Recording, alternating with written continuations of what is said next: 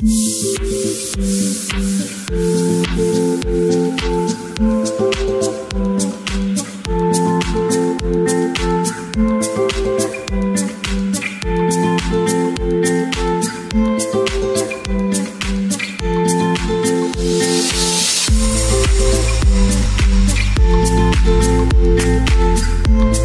my favorite canapes. Um, I usually do this uh, with Fita crackers or Marie.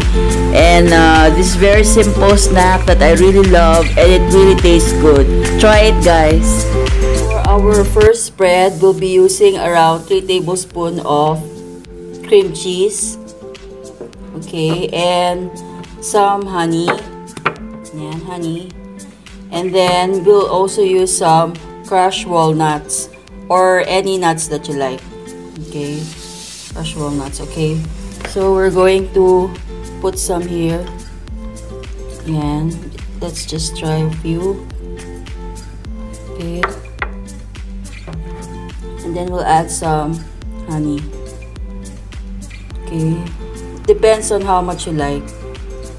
Okay? But not too much. Ayan. and then we're just going to uh, mix this Okay, I'm going to mix this up. So this is our biscuits. Yan, uh, these are multi-grain crackers. Okay, so let's start spreading our uh, healthy spread. Okay, the one that we made earlier. So we're going to just spread this here, that. Okay, spread this evenly.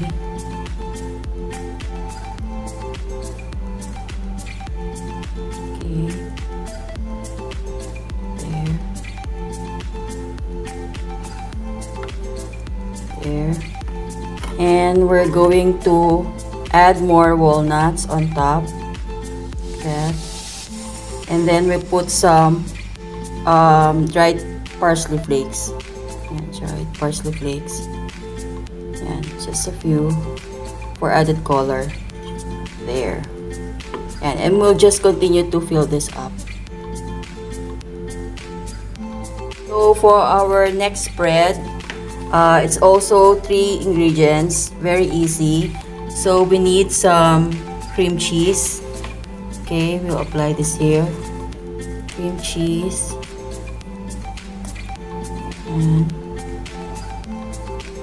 Let's a let's be um, a little bit generous. Okay so that's the cream cheese. Then we will put some um, so, smoked salmon. This is smoked smoked salmon. Okay like that. And then we're going to put some uh, red onions on top. Just two and then we'll add some parsley dried parsley flakes again just for color. Ayan. There. So, we're going to put this here. Ayan.